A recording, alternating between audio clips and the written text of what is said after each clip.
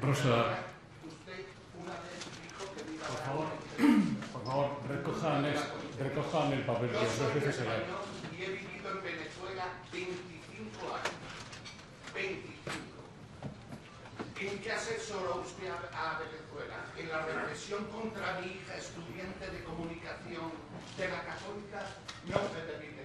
¿Usted asesoró a Venezuela en que mi esposa no puede comprar papel toalé ni comida? ¿Usted asesoró a Venezuela en que en la represión a los estudiantes aquí los...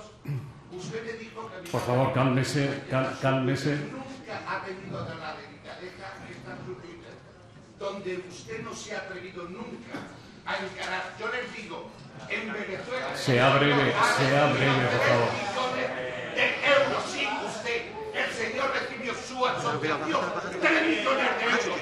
Ahora le pregunto, y mi hijo no puede comprar papel no puede Señor. comprar nada. Ahora Señor.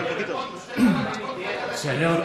Responda, no, responda. Señor, Le he mandado 100.000 twitters. Yo soy español que he vivido 25 años y que me tuve que venir. Me perdonan. Ahora, respondan. Usted me va a conceder, vale. Me perdonan. En Venezuela están matando a los jóvenes que defienden ellos. Educación, por favor. Defienden ellos y matan a, a mi hija. La cayeron a golpes. Una niña de 22 años. Me perdonan de corazón, pero mi esposa no puede comprar pollo ni huevos. Y usted defiende eso. por favor. Incluso planteada en estos términos, creo que, que debo responder a la pregunta. Yo jamás he asesorado a nadie para que repriman a nadie, ni, ni para que golpeen a nadie, ni para que dejen a nadie en una situación económica difícil, ni tampoco para que muerdan el cuello a los niños y les saquen la sangre, que a la vista del tono del caballero que intervenía daba la impresión de que, de que algunos nos, nos, dedicamos, nos dedicamos a eso. Creo que esta intervención es sintomática de, del miedo que tienen los que no se atreven a discutir con, prudencia, con, con, buenas, con buenas formas y con, y con argumentos.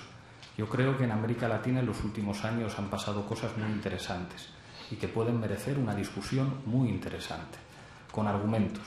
Pero desde la amenaza, desde el grito, desde la crispación, creo que es muy difícil discutir. Y yo estaré encantado de discutir de cualquier tema, de las políticas públicas de cualquier país, en cualquier lugar y con cualquier persona, como, como he hecho siempre.